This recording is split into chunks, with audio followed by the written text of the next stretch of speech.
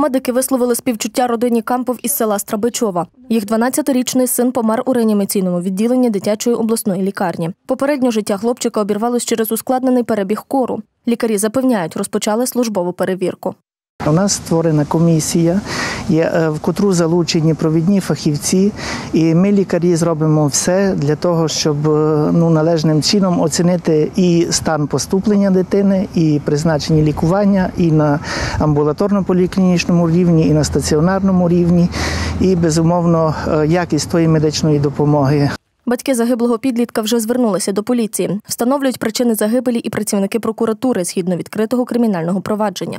Першочергова кваліфікація у даному кримінальному провадженні за частиною 2 статті 140 Кримінального кодексу України неналежне виконання професійних обов'язків медичним працівником, якщо воно спричинило тяжкі наслідки неповнолітньому. Наразі призначено ряд експертиз. Триває подальше досудове розслідування зі встановлення обставин смерті дитини.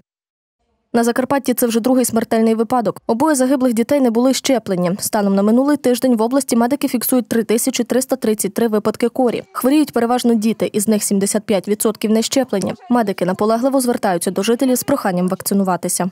992 випадки, з них не щеплені 85%. Вікова група 5-9 років.